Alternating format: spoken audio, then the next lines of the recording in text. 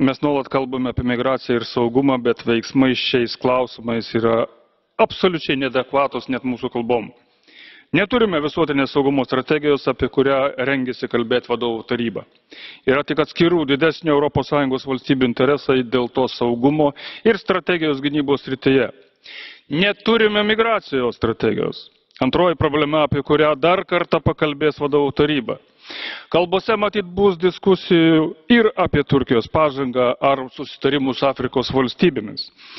Negi tikitės konkrečių sprendimų, tiesiog mane žavi jūsų naivumas.